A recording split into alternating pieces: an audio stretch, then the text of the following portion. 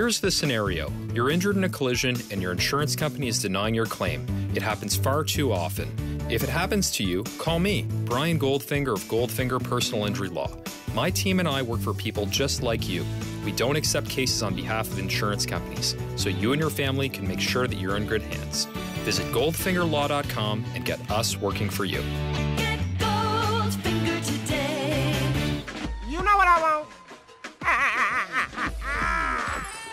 Want to talk Santa.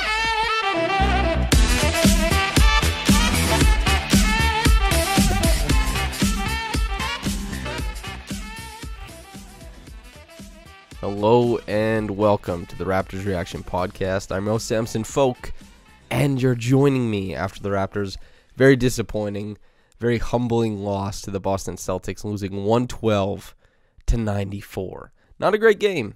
Not a great game at all, but I think it's important that we all kind of decompress a little bit. We'll walk through what went right in the game, which wasn't very much. We'll walk through what went bad in the game, which happened to be quite a bit, and we'll come out on the other side a little bit more knowledgeable, hopefully, and we'll be able to say, okay, the Raptors have a certain plan of action to attack game two and onward in the series. So let's let's jump into it, and we couldn't start anywhere else except for the first quarter. So basically, what happened in the bubble game, in one of the seeding games, the only one that the Raptors lost, in fact, the only game that the Raptors lost in the bubble prior to this game was against the Boston Celtics, and largely the struggles that showed up that game were struggles that showed up this game as well, in which we saw almost universally the Raptors struggle to create good looks early on in the game.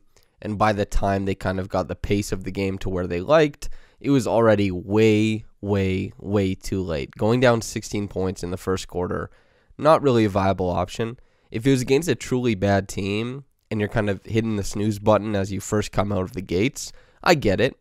But against those teams, when you lock down, when you start battling back, you can make meaningful progressions the whole game if you want to. That's how good the defense usually is. That's how incremental the offensive steps usually are. But when we're looking at this game, the Celtics remain a very good team whether the Raptors want to lock down or not. So, every counterpunch they made after going down 16 was effectively it was a moot point because the Celtics they got a little run of their own going. When the Raptors would get a 7-0 run or a 7-2 run, the Celtics would get a 5-0 run. They'd they'd always have that little counterpunch and it was because they were dangerous going downhill. They were hitting their three-point shots and they didn't have to do it that often because the Raptors even at the end of the game could not say that they figured out what the Celtics were doing defensively. Or at least if they did figure it out, they did not figure out how to attack it, how to glean advantages against it. And what they did have was basically a fairly static, fairly unimaginative offense that got dominated by an impressive and well orchestrated Celtics defense. And the stat notes from the first quarter was that it looked like Siakam was going to be on. He had a really nice end one little drop step against Jaylen Brown in the post, and it was like, okay, he's got it. He missed a layup against Marcus Smart before that. He missed two bunnies after that, and it made me say, okay, he's getting to his spots. He's finding good shots for himself. He just has to make it. You know, ideally, he would have been four of four for like nine points at that point in time, but instead, he had hit just one shot. He got a little bit discouraged away from the rim. He tried his hand at a couple three pointers. He bricked those. And when I say bricked, he did not come close to making those. But after that, Siakam basically only went to the post up. He didn't even try to get to the bucket in transition, really. He was just doing these static, unimaginative post ups. And he had very little success in this game because the Celtics, while they aren't as big as Siakam on ball, they're very good defenders. Jaylen Brown, Jayson Tatum, Marcus Smart, whomever, they can guard him. Like, not maybe the best of anybody in the league, but they certainly have the tools to guard him, especially when they have a very accomplished, very help conscious defense sitting and waiting in help side for when, if Siakam turns middle, which he often tried to do, they make him so that he can't extend to the opposite side of the bucket. He has to throw up these awkward leaning, one handed floaters, and that's just that's not good offense. So Siakam, who looked like he might have a good start to the game, that wasn't the case. That was bad. Serge Ibaka, who had a fantastic start to the game on the offensive end, really happy to see him. He came out and immediately cashed two triples. The green light that he affords himself and constantly shows himself, I think is extremely valuable on this Raptors team. You need Serge to come in and view himself as a bucket getter.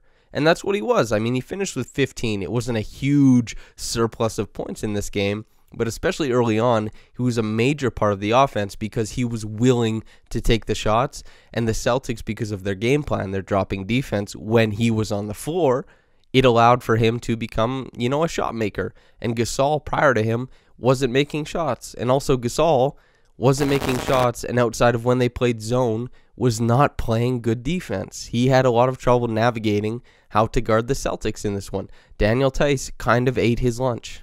There are, of course, some caveats when it comes to Serge, is that he had trouble navigating the pick and roll defense when Kemba Walker was on the floor at the same time as Serge.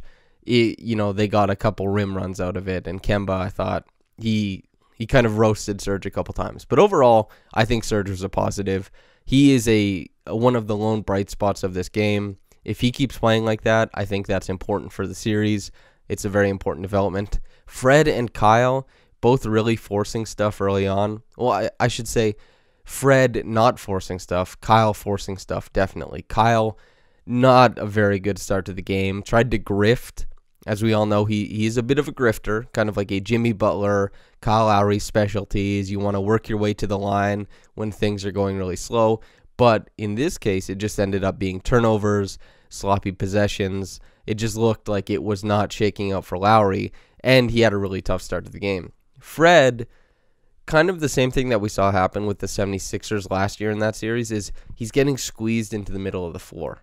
And when he's squeezed into the middle of the floor, he's not comfortable there, especially when you have Jayson Tatum, Jaylen Brown, Marcus Smart, Daniel Theis all lurking it means that the seams he usually finds to play make to the corners for either OG or Pascal to shoot it, they're not there. He's not seeing those passing lanes. He's also not a fan of shooting from the middle of the floor. He likes to take his shots either at the rim, where he's not super great, and in fact, he's actually, you know, statistically bad at the rim, or he likes to take those pull ups or catch and shoot options, relocating from beyond the arc, of which he's very good at that. And I think he was fantastic in the Nets series, and he's been fantastic in the bubble.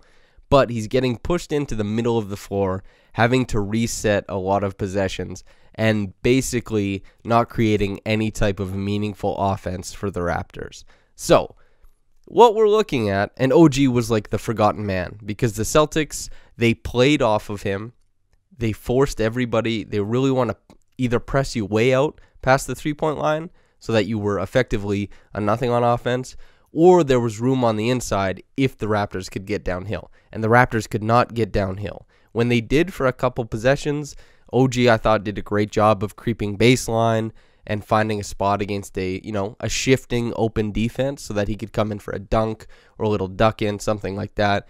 But overall, the Raptors completely getting dominated. On the other side of things, the Celtics getting downhill. The Raptors squeezing into the lane to try and stop that downward, forward momentum.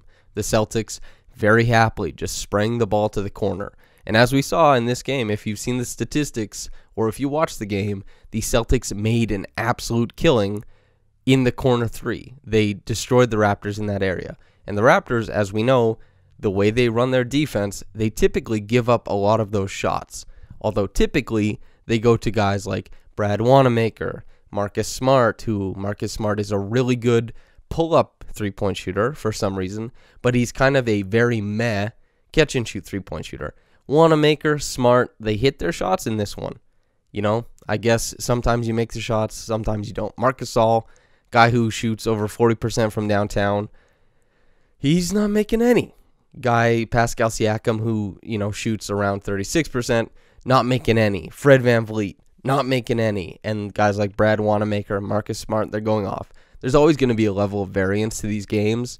That's where the microscope is for a lot of it, but it's also in the process of how you create these shots. The Raptors, a lot of Fred's three point opportunities were three point line extended, and they were not super easy shots. A lot of the shots that Wanamaker, Smart, whom uh, Semi Ojeleye, those guys took, were good shots that were created by the Celtics getting downhill, creating against a moving defense, and creating good shots. The Raptors had very little of that.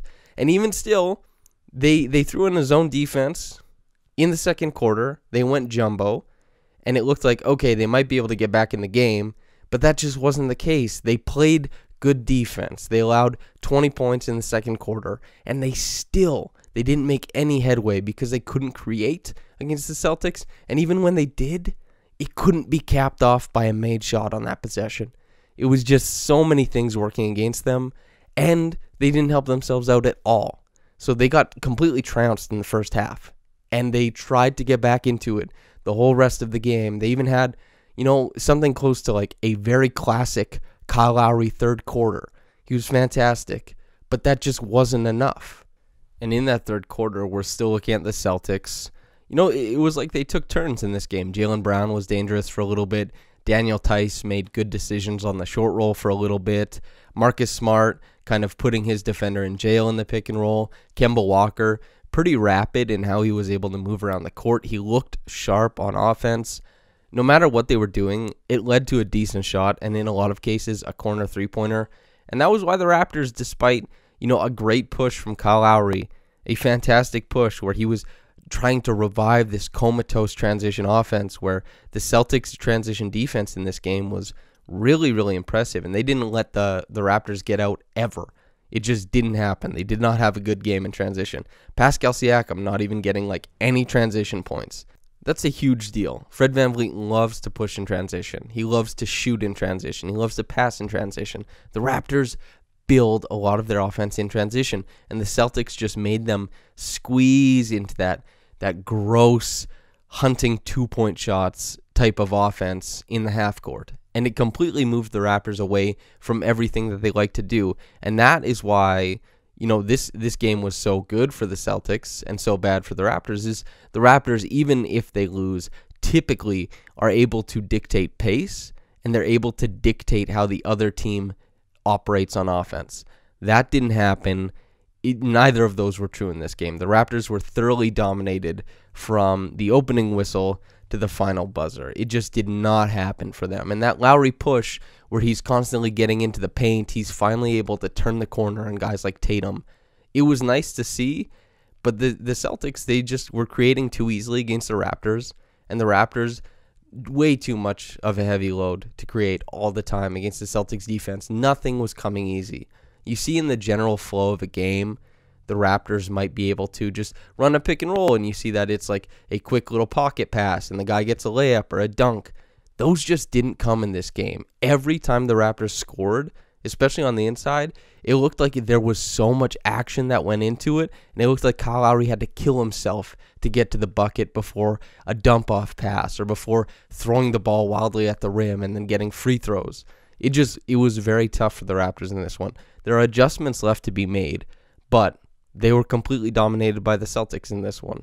So, hopefully, we see Nick Nurse kind of go to the drawing board, come up with some concoctions, some lineups that he thinks might be able to help, and mix in with that an ability for the Raptors to hit three pointers.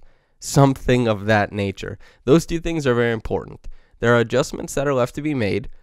Whether or not, you know, Marc Gasol, because he wasn't even as good defensively as we're used to, and he didn't provide almost anything of sustenance offensively. So the trade off is usually that Ibaka is quite a drop off defensively from Gasol, but Ibaka can kind of take a lot of the space that defenses give Gasol, and Ibaka can convert that into points sometimes. And especially when guys like Fred VanVleet or Pascal Siakam are not finding offense for themselves, they're not taking the shots. Ibaka will come in and he'll take all of them.